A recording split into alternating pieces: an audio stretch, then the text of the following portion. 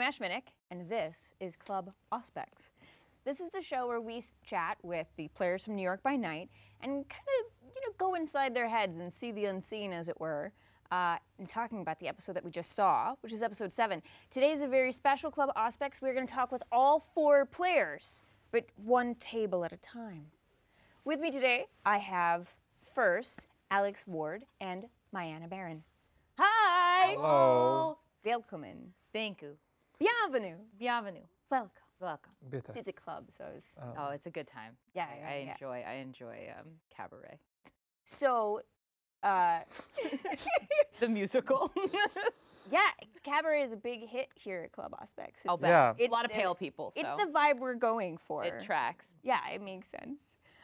So today was a really interesting episode. Yeah. You Yeah. guys, you split the party. Yeah, all individually. Yeah, Yeah. I didn't cool. see yours, so Oh. I'm gonna learn things. I saw his. Yes. Because I was in the makeup chair and they were streaming it in there. So that was great. and I was in makeup when you went, and Yeah. they didn't stream it for me. So apparently they like you better. Maybe. Maybe Um, that's what it I was. think that's what it was. Yeah. that's- I did I'm- slip I- in that 50. That's the problem. When no, that's the problem because I was here in the last campaign, and now I'm the old guy, and there's all these new people here, and they like them better, and Oh it's just one of no! I don't think that's it at all. No, that's probably not what it is. anyway, what are we talking about? we split the party. yes, that's right. We split the party. Was that was that worrying at all? Were you guys were you excited? Um, I'm, I was so happy that Alex got to go first because I because I was worried about going first. Um, yeah, no, I I liked it. I think it's fun to, you know, break it up a little bit and then give everybody a chance to kind of explore little little narratives for themselves and develop and learn different things on their own.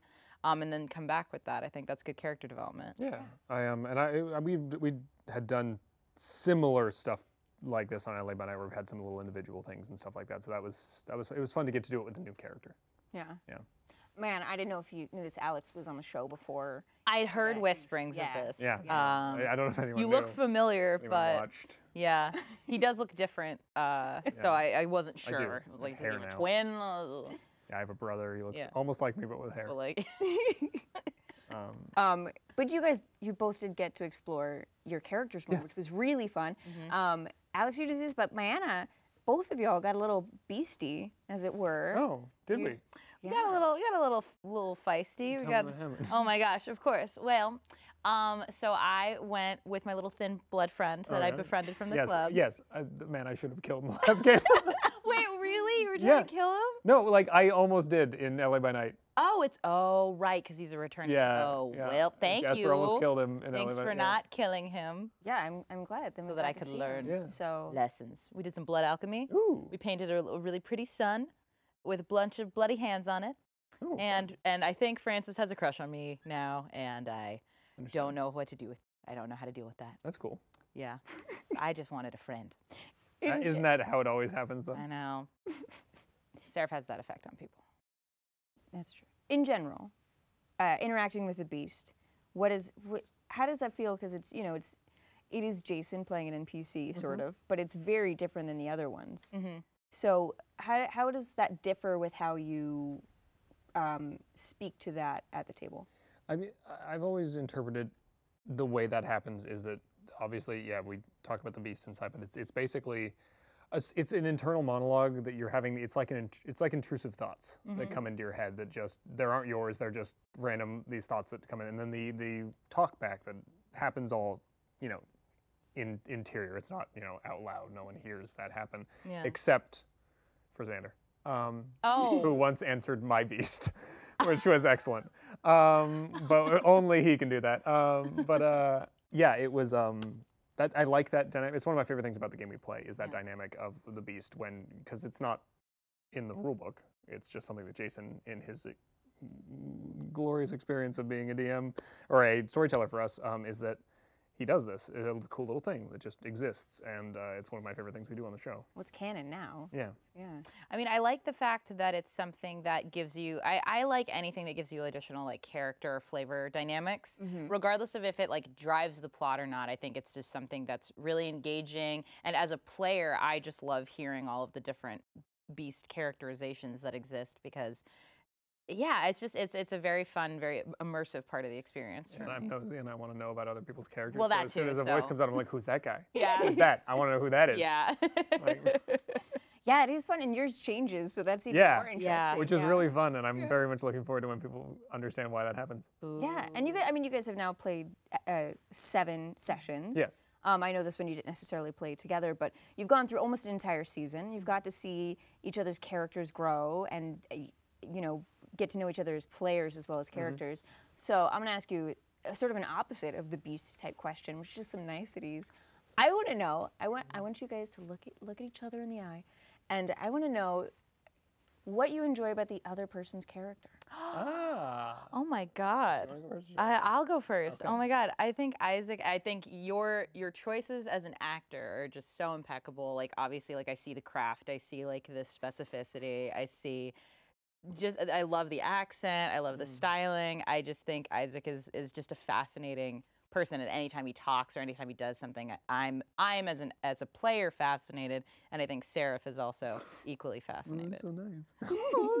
uh, I love Seraph as a concept in that it's you created, you went. mm, how do I want to say this? You went into this game creating something that is effectively immortal unless outside forces cause it to die, mm. and you went great. That means it's fun forever. as a character, the character was like, "Great, we just get to have fun all the time at night." Yeah. and you know coming from you as a tagger being awake at night going out in the middle of the night you're you know it's like great i just my normal lifestyle keeps going and i get to have fun all the time and then immediately just slamming into the big wall that goes no that's not what happens that you don't get to have fun almost ever and so like, which just it was such a heartbreaking core piece of this character that i loved so much Oh my like, God. was such a great thing to bring into the game I remember. Yeah. and just a, a different way to show innocence in a character than we've done before Oh, oh, I'm so glad. I remember like Jason gave a description of the club and like us like living in this moment where like, oh, and it could last forever. And I was like, oh, this is nice. I hope it stays like this. That's the whole show, y'all clubbing. That's. Wholesome, nice times. Yeah, this, I think this is the first time in the history of the any of our vampire shows that we've gone to a club and most of the coterie hasn't gone dancing. and this time, only one of us went dancing. in any time we've gone dancer. to uh, that place that I can't remember the name of right now. Y'all can dance here. This is, No. Nope. Okay. Biana's into it. Um, speaking of character creation Yes. and working with Jason, there was also some really interesting stuff. Um, I so I would love if we could chat a little bit about the mechanics of leveling up. Oh, y'all are leveling up as the season Yes. progresses. And we don't do that on camera, so. Yeah, and but you find really interesting ways to make it part of the story. Mm-hmm. Um, there was obviously a very big level up for Isaac Right. in this Um, episode. So how did y'all decide how that was going to happen? Well, uh, the the discipline that allows Isaac to do that, which is called vicissitude, is something is uh, is really only really available, generally speaking, to the specific clan that Isaac is, and so it is something that I and this being my favorite clan, I've always wanted to explore this. I've never really gotten the chance. So when I was coming up with Isaac I was talking to Jason, um, I very much wanted to among among among the plethora of other ideas that didn't make it into Isaac. Um, there was this idea that I wanted it to manifest. I didn't want to have it at the beginning. I wanted it to be something that, because the way I personally look at vampires in this world, they develop the way their disciplines develop, and because of the way Fifth Edition has have these has this branching path for disciplines instead of just like level one, level two, level three, like it used to have. It feels to me more real if a kindred reacts to the situations that it encounters by developing disciplines in a certain way.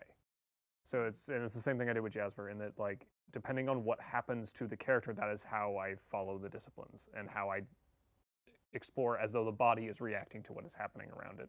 So I wanted it to manifest in a certain way when I was using my lower level powers to at one point in a very you know a tense situation or wherever Jason deemed it to be uh, right, it would manifest in a certain way, and that would allow me to then follow that path down. Yeah, and it's I mean it's pretty fascinating. I think is one of the things I love about this show is that everything is so story based. Even though there there is this whole layer of mechanics Yeah. over it with the game, it just comes out in character. And I mean, obviously, Alex is, is a veteran; he's done this before. But Mayanna, being new to playing vampire uh, in this way, has how has that been for you? Being more, um, have you felt more like? I want to say engrossed, but I don't think that's the word. I mean, I definitely, I mean, I definitely feel engrossed uh, or embraced. But um, yeah, I, I, I, I watched a lot of the show, you know, especially after I'd been cast because I wanted to do research and stuff, and I saw how how the players in that show, you know, integrated their different abilities and and you know and, try to to keep things within the narrative. Like I think the the they describe it as like LARP top. So it's like mm-hmm. there's role play always being at the forefront of the experience, which I think is really cool and, and I like that as a as a thing. So I always tried to figure out ways of like how do I reveal information, how do I reveal ability that feels justified and, and would logically make sense for this this character that I'm playing of like she's not just gonna do every ability every time like she's not gonna just like be the most at every opportunity like there's there's different That's places job. yeah that's very much so it's like you have to slot in the different building blocks where it makes sense so i think being able to i mean i'm learning so much from all of the wonderful other other cast members as well of like oh that was a really cool choice that they made i'm like how do i how do i learn from from them as well yeah. yeah Well, before we wrap up and go to your your counterparts at the other tables, which will also just be right here. great Magic. Um, kept it warm for somebody so, let's see what are your let's let's project into the future. What are your predictions for the finale? Where would you like to see these characters go? Do you have any personal goals that are maybe different than your characters' goals? Answer every I'll, question. I'll go first. I, I think um, I just I really want to see us come together as a coterie. I really want to feel like we get to a point where we, you know, see the value in each other, and and there and there feels to be that camaraderie. Um, I what? That's And a I- nice thought. I, I hoped I, a kid can dream. Um, and then I I do want to see like and then just go hang in clubs and dance. yeah, yeah, I would love to go back to the club and dance and not have to do any more jobs or anything. Um, I think I think I also I want to learn more about about Isaac. I, I think Isaac is the character who I think is still shrouded in the most mystery. So any chance I get to, to learn more about about him and it, it, I, I again I just find the character super fascinating. So that's just like as a player, I'm always like yes, more, more story. Yeah. Uh, I also, I mean, also narratively speaking, like ja- or Jasper, woof, uh, Isaac, for reasons, um, for multiple reasons, wants everybody to come back together. Um, he has, there's things they still need to do, and he's done one of the jobs that we needed to do, but he can't do all of them on his own, so he desperately needs help from other people to complete these things. But also, he, um, eh, he, I would like to see. Um, hmm, let's see. I would really like it if I'm more see, I never plan ahead. This is the thing. Like I, I don't I, I'm so excited to see what Jason has in store for the last episode because it's the last episode of the season. And Something always happens. and um, I, so I, I, I know I, I mentioned it a couple I, a couple episodes ago. I mentioned um, getting them some more information, trying to clear up any of the questions I had. So hopefully we can get to that and um, and get them some answers for things they need. Uh, because Isaac doesn't want to have to answer questions anymore, or get blamed for not answering questions they didn't ask. And so, but yeah, that's that's kind of where I want. I, we do need to get- we need to take what we've learned from these little individual things and then bring them back together and then s- awkwardly slam that information into each other and try and make a story out of it. Like a sandwich, yeah, made of like An awkward sandwich. an awkward of sandwich information. clapped together like that. That's Clap that that sandwich. is a coterie, an awkward information sandwich that gets clapped together. Well, thank you both for joining us in this You're welcome. seventh episode of Club Auspex. Uh, it was amazing. Looking very much looking forward to the fin- finale. Me too. Me too. Um, yeah, so let's let's switch over to our other table and see what they have to say. Dance, dance, dance, dance, dance, dance, dance, dance, dance, dance. and now it's time for Joey Rassool and Aabria Iyengar. Yay! Rango! Sorry, I'm yelling our God ship name dang it. immediately. I forgot about that. oh, Never man. forget. I think I think Rago sunk. I think the ship sunk. Um, excuse me? When? Where? What did I miss? What What did you do in your scene? well, you weren't in it, so. Oh, Um, well. Uh, assumed it was just pining about Margot. I wasn't. I wasn't prepped to talk about Rego. I'll be honest. I. That's fair. Yeah. Yeah, we didn't. So we, we didn't really get to watch each other's scenes. first. Yeah. So you are our conduit for finding out what, What happened, in each other's scenes. Oh, this is exciting. um, what's really funny though is that the audio on the stream went out during your scene, so I don't know either. Excellent. Uh, Excellent. I will say though, let's start with the obvious, uh, which you both did. You saw each other though, so you saw what each other was wearing. Can we talk about wardrobe? Can we talk Yeah. about that Like- suit? My Yes, God, yes. sir. So Okay, we, we can start there. Yeah, so um, I brought in a bunch of stuff uh, for Ray to begin with, and you know, like we did uh, camera tests of like what looks good and all that, and then I had a bunch of like gray and silver, and uh, Mayanna was monopolizing the purple a little bit. Ooh. Um, Call but then. I was like, oh, okay, so I have this uh, jacket. I don't know if I'm ever gonna get to use it, and then it became this kind of one day uh, meeting the Camarilla thing, and I was like, okay, well maybe this, maybe this becomes the Camarilla jacket. Maybe this becomes the like, cam jacket. yeah, and it has this kind of like Betrayal. feeling of like, what, the jacket of betrayal. Wait, did you so, betray like, us? What? What? No, no. I spent What? my entire scene pining over Fuego. Thank you. Um, The betrayal was that Fuego he does he feels betrayed. Yeah. That because he loves you so much. Good. but it just because it is a little it's a little flashy and a little ostentatious and it's not a it's not a subtle jacket so it became this thing of like uh, almost going into the Camarilla in a way of like almost showing what the Bronx like being in the Bronx for a year has done but I'm like I'm still me but I did change but uh, so you know kind of trying to give a little bit of an air of Ray is different from when you all saw him a year ago. Yeah. Wait, and he's back in the Bronx. So Well, so he, I mean, he, as a character, left the Bronx when he was like 12 years old. Or no, not 12. He left after school. was 12-year-old Ray flashy? Uh, no, he was like a, a studious kid who like saw school as his way out of the Bronx, and like all of his friends, are like, yeah, I'm gonna get out of the Bronx doing music. And I'm just like, you go, buddy. Uh, and and yeah, he he doesn't have like he doesn't have a lot of respect for that. He doesn't have a lot of because he feels like he you know had to claw to get his way out of the Bronx, and then you know we haven't really delved into what happened when you know he was alive and tried to come back. Maybe we'll touch on that uh, one day. One day. Aabria, also since since your last visit to Club Auspex, um, you're you're bringing out some pretty cool My God, accessories so as well. Cool. Thanks. Yeah. Uh, when uh, when I we were first starting to like figure out what the characters were going to look like, uh, I got some like you know the cool like little Halloween store, uh, Spirit Halloween, Vampire Fangs, and Fluffer and Fuckdash. I could not found normal at all wearing them, so I kept trying to figure out like what's something that like has the sort of cadence of like fangs and draws your eyes to her mouth, which is the source of her power, and then found this like very cool accessory online, bought it twice, and then was like, okay, you look like a show pony now. This is cool, maybe. Let's Fuego wear the it. show pony. Fuego the show pony. Fuego the show pony. She's a pony. lipizzaner. She's And- so good at trotting.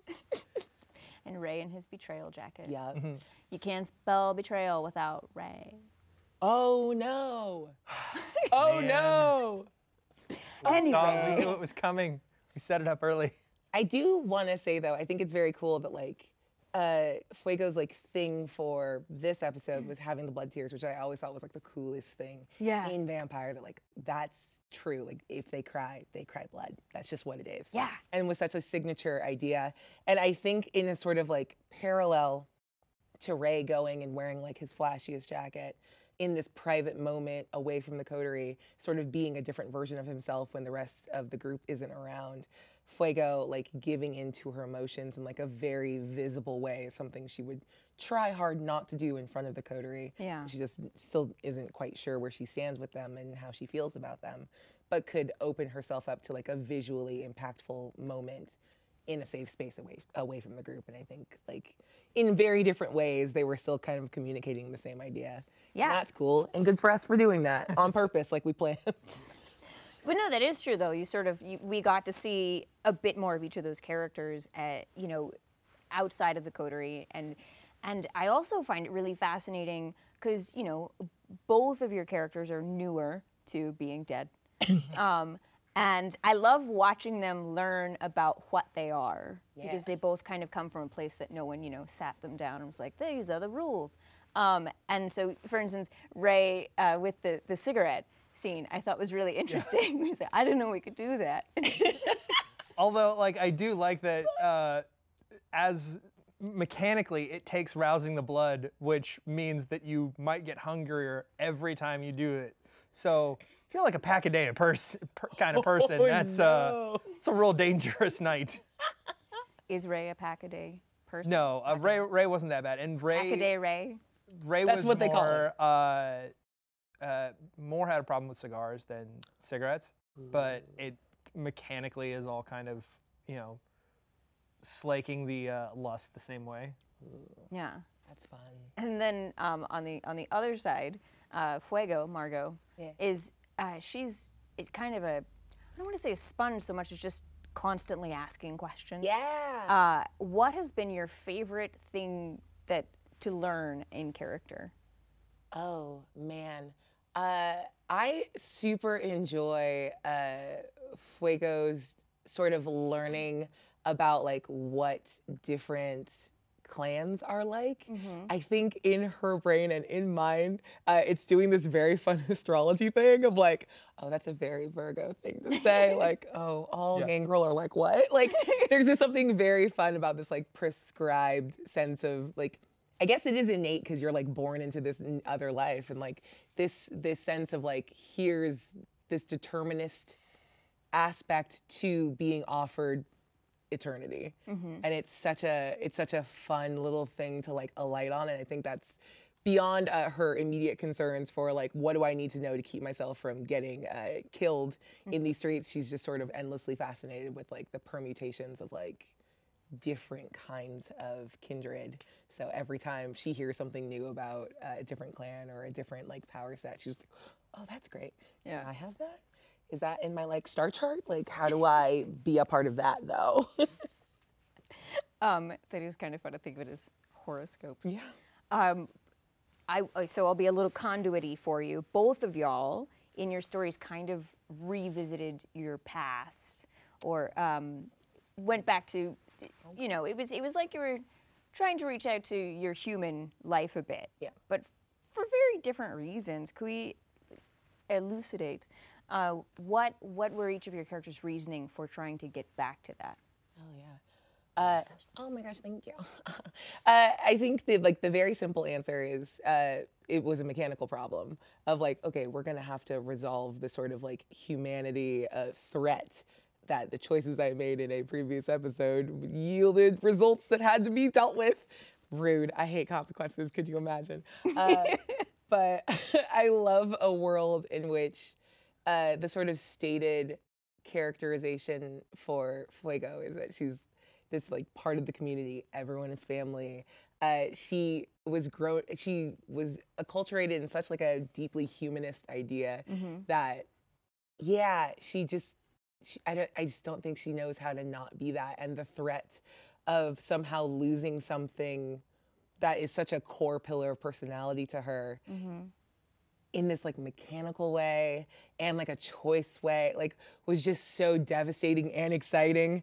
And oh god it was it was cool. I stand by it. That was great. And i was freaking out the entire time i don't know if i answered your question I think I think you did. I think you did. I feel like that was the a little different than Ray's reasoning. Well, actually, I like the parallels to it because mine kind of came from a mechanical need as well. Hmm. Because I had aggravated willpower damage from the last oh, episode, and oh. the only way to heal that was to push towards my ambition, Ooh. which is to get back into Manhattan and be accepted into some facsimile of my old life.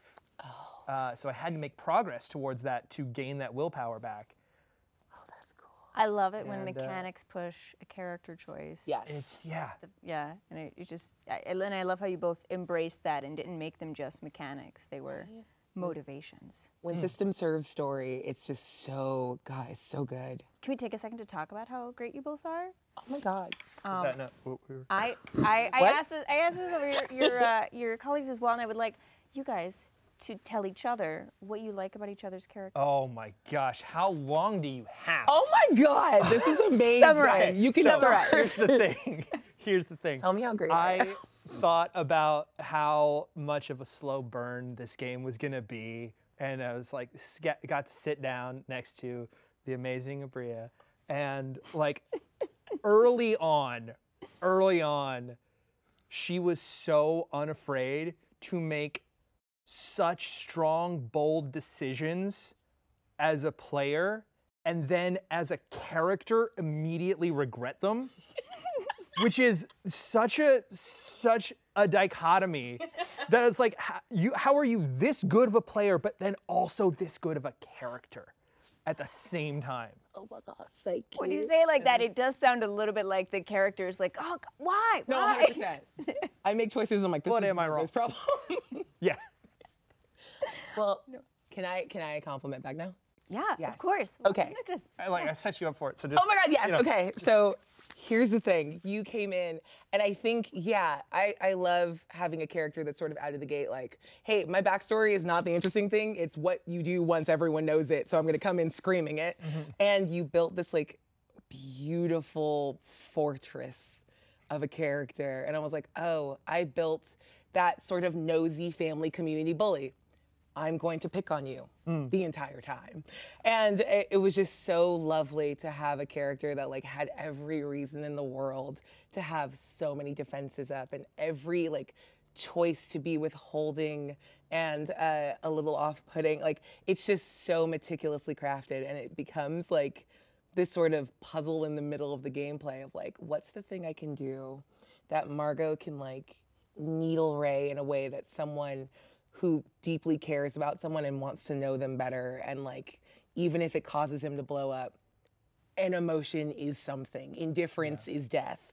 And uh man even even beyond like our characters like vibes every God, it's to me i think you are playing like what i think of when i think of like power gamey like cool vampires of just like that cold command truly a badass like always at the edge of like something disastrous happening and you court disaster so gloriously that like I feel myself slipping into like my th- my GM brain going like this is the player you want at the table 100% of the time.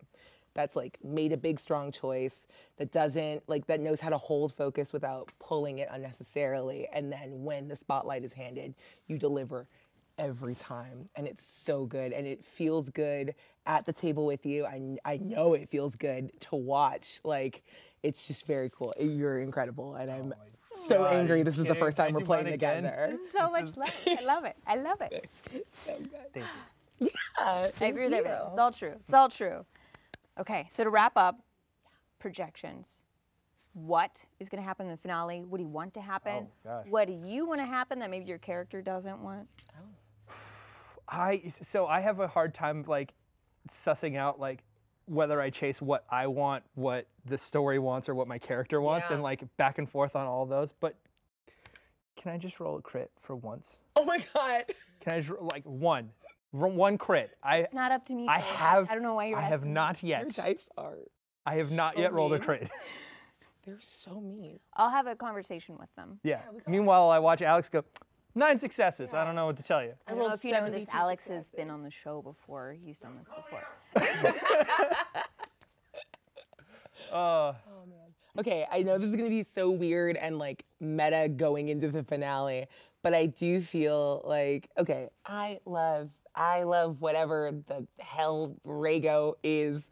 And I just, I'm hoping against hope that like it comes to a head in some kind of interesting way. Because I think there was like that initial, like, what is this? And then like a sort of pumping of the brakes in both directions. And uh, my, I, I just hope that we can like finagle a moment in which they like have that big like like I, I love a will they won't they. We can do this for like six seasons. It's fine. But just having It's some sort of moonlighting with vampires. yeah exactly. Oh it's moon- Moonlighting. there you go. Perfect. It writes itself.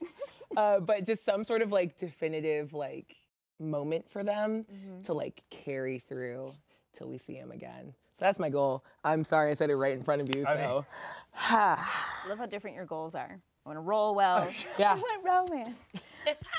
okay, well, thank you both so much for joining us. Hey. This was lovely.